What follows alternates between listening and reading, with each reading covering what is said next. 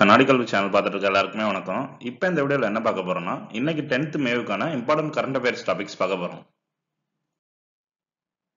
Fact of the டேல இன்னைக்கு Indian parliament பத்தி பார்க்கலாம். ஓகேங்களா இந்தியன் பார்லிமெண்ட் வந்து ஒரு bicameral legislature composed of President of India and two houses Rajya Sabha and Lok Sabha ஓகேங்களா ஸோ எதனால பைகேமரல் அப்படின்னு சொல்றோம்னா it consist of two houses Lok Sabha ஒன்று ராஜ்யசபா ஒன்று ரெண்டு ஹவுஸ் இருக்கு ஓகேங்களா ஸோ இந்தியன் பார்லிமெண்ட்ல எதனால பிரசிடென்ட் வந்து ஒரு இம்பார்ட்டன்ட் இன்டெகிரல் பார்ட் அப்படின்னு பார்த்தீங்கன்னா எதனால அவர் ஒரு அங்கமா இருக்காரு அப்படின்னு பார்த்தீங்கன்னா அவர் வந்து லோக்சபாலையும் மெம்பர் கிடையாது ராஜ்யசபாலையும் மெம்பர் கிடையாது.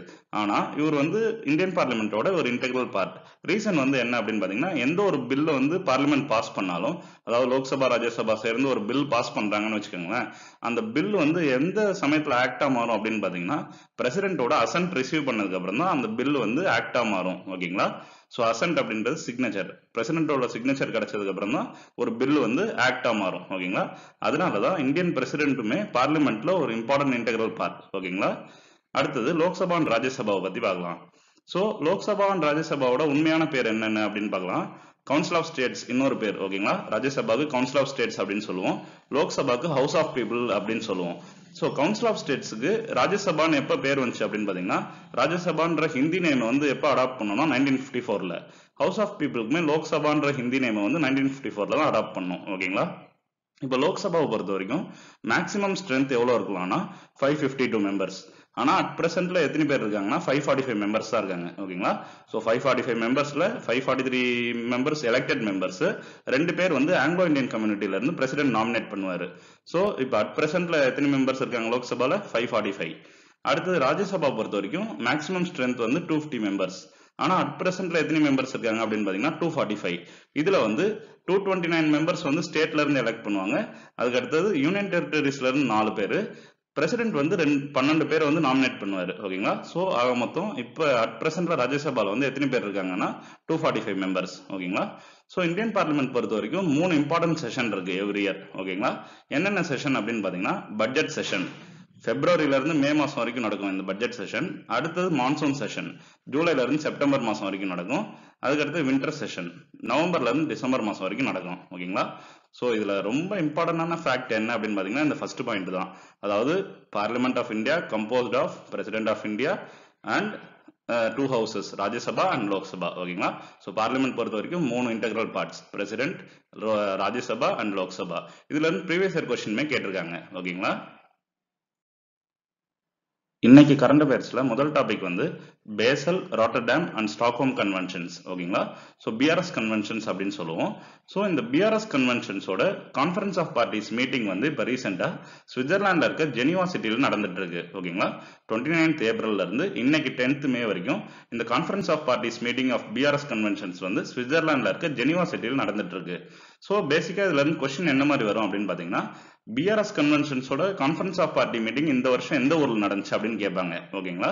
சுவிட்சர்லாண்டில் இருக்க ஜெனிவா சிட்டி ஓகேங்களா?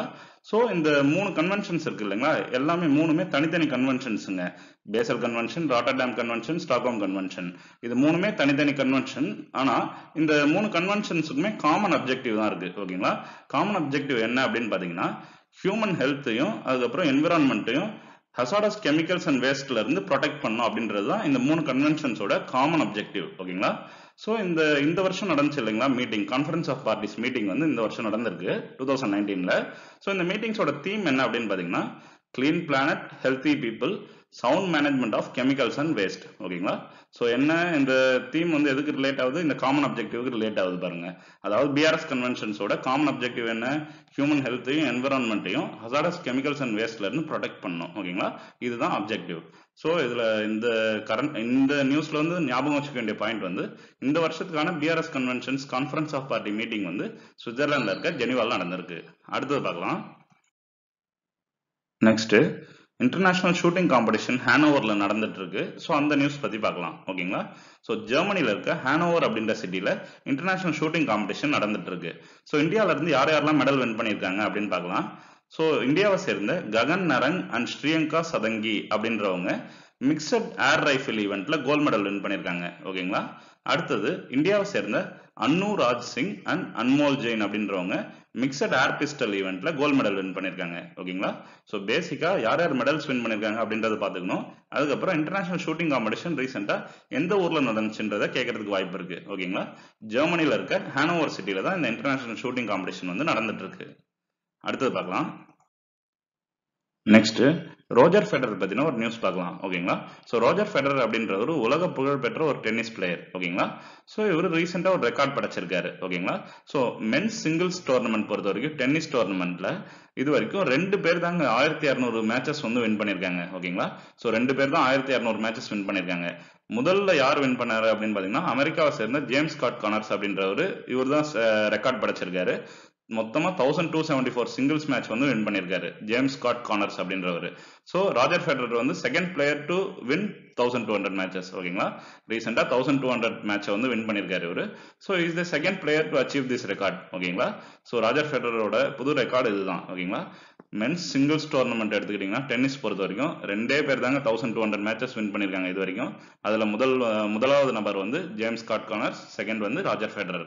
இதை மட்டும் ஞாபகம் வச்சுக்கோங்க ஓகேங்களா அடுத்தது பார்க்கலாம். Next Indian men's football team coach பத்தி பார்க்கலாம். ஓகேங்களா இப்போ ரீசெண்டா ஆல் இந்தியா ஃபுட்பால் ஃபெடரேஷன் என்ன பண்ணிருக்காங்க அப்படின்னு பாத்தீங்கன்னா குரோவேஷியாவை சேர்ந்த இகோர் ஸ்டீமேக் அப்படின்றவரை இந்தியன் மென்ஸ் ஃபுட்பால் டீமுக்கு கோச் அப்பாயின் பண்ணிருக்காங்க. ஓகேங்களா குரோவேஷியாவை சேர்ந்த இகோர் ஸ்டைமேக் அப்படின்றவரை இந்தியன் மென்ஸ் ஃபுட்பால் டீமுக்கு கோச் அப்பாயின் பண்ணிருக்காங்க. ஓகேங்களா அடுத்த நியூஸ் பார்க்கலாம். நெக்ஸ்ட் ஸ்பேஸ் எஜுகேஷன் டூரிசம் பத்தி பார்க்கலாம். ஓகேங்களா இப்போ ரீசெண்டா Indo Russian chamber of commerce and industries மற்றும் international association of space activities இந்த ரெண்டு ஆர்கனைசேஷனும் சேர்ந்து ஒரு அக்ரிமெண்ட் சைன் பண்ணியிருக்காங்க. எதனால இந்த அக்ரிமெண்ட் சைன் பண்ணியிருக்காங்க? என்ன பர்பஸ்க்காக சைன் பண்ணியிருக்காங்க? அப்படின்னு பார்த்தீங்கன்னா இந்தியாவில் இருக்க ஸ்டூடெண்ட்ஸ் மத்தியில் ஸ்பேஸ் ஆக்டிவிட்டீஸ் பற்றின அவேர்னஸ் கிரியேட் பண்ணும். ஸோ அதனால இந்தியாவில் இருக்க ஸ்டூடெண்ட்ஸ் வந்து ரஷ்யாவுக்கு வந்து ஸ்பேஸ் எஜுகேஷன் டூரிசம்காக அழைச்சிட்டு போக போறாங்க. ஓகேங்களா ஸோ அதனால தான் இந்த அக்ரிமெண்ட் வந்து சைன் பண்ணியிருக்காங்க. அது மட்டும் இல்ல ரஷ்யால இருந்து சில காஸ்மோனாட்ஸை வந்து இந்தியாவில் இருக்க சென்னை மற்றும் அதர் சவுத் இந்தியன் சிட்டிஸ்க்கு வந்து அழைச்சிட்டு வந்து ஸோ ஸ்டூடெண்ட்ஸ் மத்தியில் ஸ்பேஸ் ஆக்டிவிட்டிஸ் பார்த்தீங்கன்னா அவேர்னஸ் கிரியேட் பண்ணும் அப்படின்றது டிசைட் பண்ணிருக்காங்க ஓகேங்களா? ஸோ இதுதான் இந்த அக்ரிமெண்ட் ஸோ பேசிக்கா இந்த அக்ரிமெண்ட் யார் சைன் பண்ணாங்கன்றது ரொம்ப முக்கியம். அது அதுக்கு அடுத்தது எந்த பர்பஸ்க்காக சைன் பண்ணியிருக்காங்கன்றதும் ரொம்ப முக்கியம். ஓகேங்களா? ஸோ யாருக்கு மத்தியில் இந்த அக்ரிமெண்ட் சைன் பண்ணப்பட்டது அப்படின்னு பாத்தீங்கன்னா Indo Russian chamber of commerce and industries மற்றும் international association of space activities ஓகேங்களா? அடுத்தது பார்க்கலாம். Next mobile radiation detection system பத்தி பார்க்கலாம்.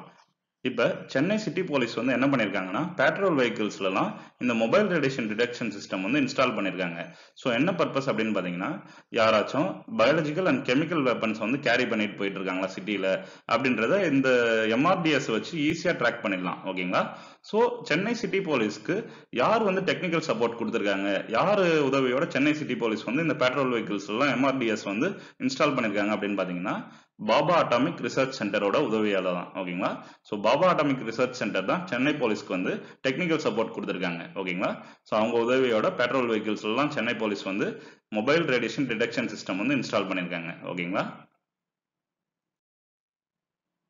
current affairs question and answers பார்க்கலாம். Question number one who receive the Abel prize for two thousand nineteen so two thousand நைன்டீன்கான Abel prize யார் வாங்கியிருக்காங்க? Answer guess பண்ணுங்க. Answer பார்க்கலாம். ஆன்சர் வந்து இந்த வருஷத்துக்கான ஏபிள் பிரைஸ் வந்து அமெரிக்காவை சேர்ந்த கேரன் உலன்பெக் அப்படின்றவங்களுக்கு கொடுத்துருக்காங்க. ஓகேங்களா ஏபிள் பிரைஸ்ன்றது மேத்தமெட்டிக்ஸ் ஃபீல்டில் கொடுக்கப்படுற ஒரு இம்பார்ட்டன்ட் பிரைஸ் ஓகேங்களா ஸோ இந்த வருஷம் வந்து பார்ஷியல் டிஃபரன்ஷியல் ஈக்குவேஷன்ஸ்ல கேரன் உலன்பெக் அப்படின்றவங்க செஞ்ச ஒர்க்கை பாராட்டுற வகையில் ஏபிள் பிரைஸ் வந்து அவங்களுக்கு கொடுத்துருக்காங்க. She is the first woman to win this award ஓகேங்களா அடுத்தது பார்க்கலாம். Question number two which country won the SAFF women's football championship two thousand nineteen answer guess பண்ணுங்க. ஆன்சர் பார்க்கலாம். ஆன்சர் வந்து இந்தியா ஓகேங்களா? So Indian women's football team தான் SAFF women's football championship வந்து win பண்ணியிருக்காங்க ஓகேங்களா? ஸோ இந்த வருஷத்துக்கான சாஃப் உமன்ஸ் ஃபுட்பால் சாம்பியன்ஷிப்பை வின் பண்ண டீம் வந்து இந்தியா. ஃபைனலில் இந்தியன் டீம் வந்து யாரை தோக்கடிச்சாங்க அப்படின்னு பார்த்தீங்கன்னா நேபாள் டீமை தான் தோக்கடிச்சோம் ஓகேங்களா? ஸோ வின்னர் வந்து இந்தியா ரன்னர் வந்து நேபாள் ஓகேங்களா? அடுத்தது பார்க்கலாம். Question number three what is Al Nagah so answer guess பண்ணுங்க. ஆன்சர் பார்க்கலாம். ஆன்சர் வந்து இந்தியன் ஆர்மிக்கும் ராயல் ஓமன் ஆர்மிக்கும் நடுவில் நடக்கிற ஒரு ஜாயிண்ட் மிலிட்டரி ட்ரைனிங் எக்ஸசைஸ் தான் அல்நகா அப்படின்றது. ஓகேங்களா ஸோ இந்த வருஷத்துக்கான அல்நகா எக்ஸசைஸ் எங்க நடந்துச்சு அப்படின்னு பாத்தீங்கன்னா ஓமன்ல இருக்க Jabal Al Akhdar training camp ஓகேங்களா ஸோ இந்த வருஷத்துக்கான அல்நகா எக்ஸசைஸ் எங்க நடந்துச்சு? ஓமன் ஓகேங்களா நடந்த டேட் வந்து twenty fifth March two thousand nineteen date கூட அவ்வளோ முக்கியம் இல்லைங்க.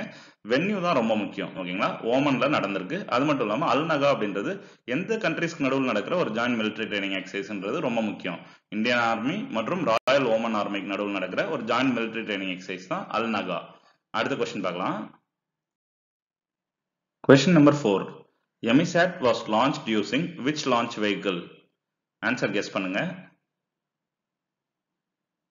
ஆன்சர் பார்க்கலாம். ஆன்சர் வந்து எமிசாட் வந்து பிஎஸ்எல்வி சி ஃபார்ட்டி ஃபைவ்ன்ற லான்ச் வெஹிக்கிள் மூலமாக தான் லான்ச் பண்ணியிருக்கோம். ஓகேங்களா ஸோ லான்ச் வெஹிக்கிள் என்ன? பிஎஸ்எல்வி சி ஃபார்ட்டி ஃபைவ் எந்த டேட்ல எமிசாட் சேட்டலைட்டை இஸ்ரோ லான்ச் பண்ணாங்க அப்படின்னு பாத்தீங்கன்னா first April two thousand nineteen so எந்த ஒரு சேட்டலைட் லான்ச்சை பொறுத்த வரைக்குமே லான்ச் டேட் ரொம்ப முக்கியம். லான்ச் வெஹிக்கிளுமே ரொம்ப முக்கியம். எந்த இடத்துல இருந்து லான்ச் பண்ணாங்கன்றது ரொம்ப முக்கியம். ஓகேங்களா? அது மட்டும் இல்லாமல் அந்த சேட்டலைட்டோட ஃபங்க்ஷன் என்ன அப்படின்றது ரொம்ப இம்பார்ட்டன்ட் ஓகேங்களா? ஸோ எமிசாட் அப்படின்றது electromagnetic intelligence satellite military பர்பஸ்க்காக யூஸ் பண்ண போகிற ஒரு சேட்டலைட் தான் எமிசாட் ஓகேங்களா? ஸோ இது வந்து எனிமி ரேடார்லேருந்து ஏதாச்சும் எலக்ட்ரோ மேக்னெட்டிக் சிக்னல்ஸ் வந்துச்சுன்னா அந்த சிக்னலை வந்து இந்தியன் ஆர்மிக்கு வந்து உடனே ரிலே பண்ணிடும் இந்த சேட்டலைட் ஓகேங்களா? ஸோ இந்த சேட்டலைட்டை எங்கேருந்து லான்ச் பண்ணோம் அப்படின்னு பார்த்தீங்கன்னா ஆந்திர பிரதேஷ்ல இருக்க ஸ்ரீஹரிகோட்டால இருந்து இருந்தால் லான்ச் பண்ணியிருக்கோம் ஓகேங்களா? லான்ச் டேட் வந்து first April two thousand nineteen launch பண்ணப்பட்ட வெஹிக்கிள் வந்து பிஎஸ்எல்வி சி ஃபார்ட்டி ஃபைவ் ஓகேங்களா? அடுத்த கொஸ்டின் பார்க்கலாம்.